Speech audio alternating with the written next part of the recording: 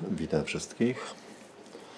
Zgodnie z zapowiedzią, dzisiaj rozwiązujecie zadania. Także temat niedobór masy, energia wiązania, tak jak poprzednio, rozwiązywanie zadań. Już podałem Wam wcześniej masę protonu, neutronu i elektronu wyrażoną w jednostkach masy atomowej, ale jeszcze raz powtarzam, żebyście nie musieli szukać. Yy, No i co trzeba zrobić? Yy, Trzy zadania identyczne, jeżeli chodzi o polecenia. Trzy, będą podane trzy symbole, znaczy symbole trzech pierwiastków i ich ma, i masy obojętnych atomów tych pierwiastków. I trzeba będzie dla każdego z tych pierwiastków wykonać właśnie to, co teraz powiem. Więc y, najpierw, no to już te pierwiastki Wam pokażę. Ołów, uran, beryl. No zaraz to wrócimy do tego. Y, Dla każdego z tych pierwiastków odczytacie z symbolu pierwiastka y, liczbę protonów, liczbę elektronów, liczbę neutronów i wypiszecie. Y, Potem obliczycie sumę mas cząstek tworzących obojętny atom, atom, gdy te cząstki są osobno. Czyli obliczycie takie wyrażenie. Ilość protonów razy masa protonu ilo, plus ilość neutronów razy masa neutronu plus ilość elektronów razy masa elektronu. Oczywiście masy tu podane są wyżej i to obliczycie. Ale tu żądam, abyście obliczyli, yy, nie od razu wynik piszecie, tylko tu piszemy wzór, wstawiamy wartości, wartości, obliczacie te iloczyny osobno i dopiero później sumujecie. Muszę mieć wszystkie te po kolei wartości. Jak ktoś prze, przeskoczy, to mogę nie zaliczyć albo, albo obniżyć ocenę. Yy, I dokładność, yy, co kalkulator wyrzuci, to z taką dokładnością wszystko wypisujemy. Nic nie, nie przybliżamy. Potem obliczamy niedobór masy.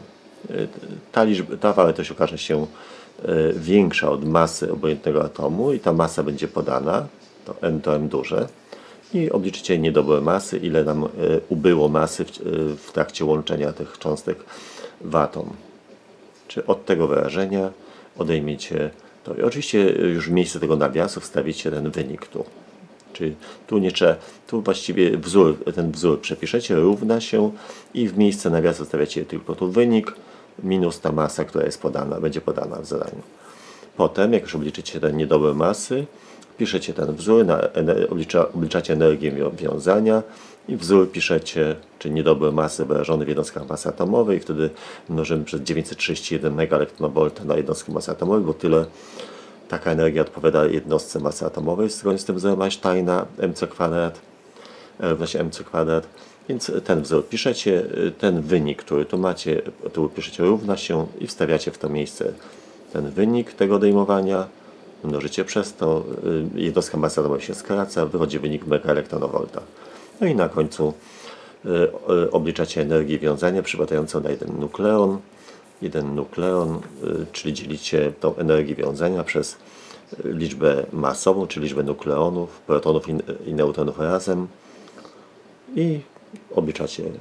I też z dokładnością, co Wam wyrzuci kalkulator, wszystko z taką dokładnością wypisujecie, nic nie, skra- nie skracacie. No i macie teraz te trzy zadania, macie trzy pierwiastki, ołów, liczba atomowa liczba masowa, podana jest i masa obojętnego atomu. Uran, liczba atomowa, liczba masowa jest podana i masa obojętnego atomu. I beryl, liczba atomowa, masowa, masa atomu i musicie te polecenia wykonać dla wszystkich tych trzech pierwiastków.